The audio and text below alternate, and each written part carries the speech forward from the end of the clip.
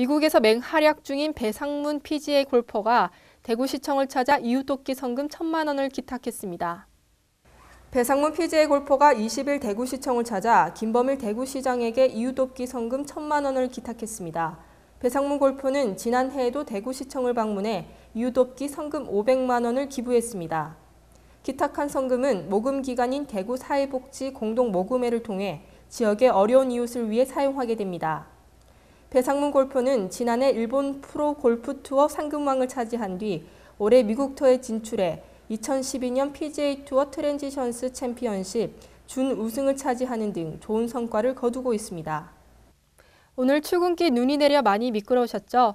하지만 늦은 오후부터는 대부분 그칠 전망입니다. 대구 경북 낮 최고 기온은 3도에서 6도로 어제와 비슷하겠습니다. 주말인 내일부터는 기온이 큰 폭으로 떨어져 당분간 추워질 것으로 보입니다.